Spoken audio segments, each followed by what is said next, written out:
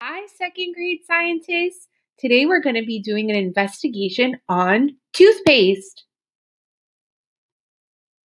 But first, stop and think. What do you think about toothpaste? Is it a solid or is it a liquid? You will need a bottle with a lid.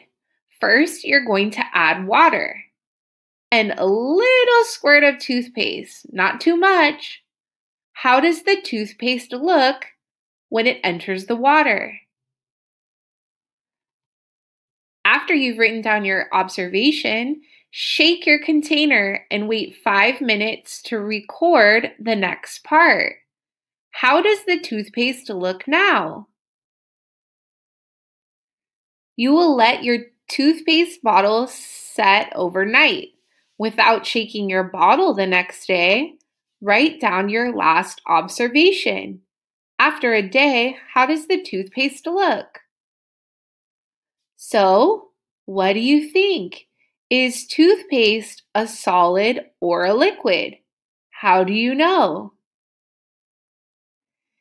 Be ready to share your thinking at our morning meeting tomorrow. Share your conclusion about if toothpaste is a solid, a liquid, or both.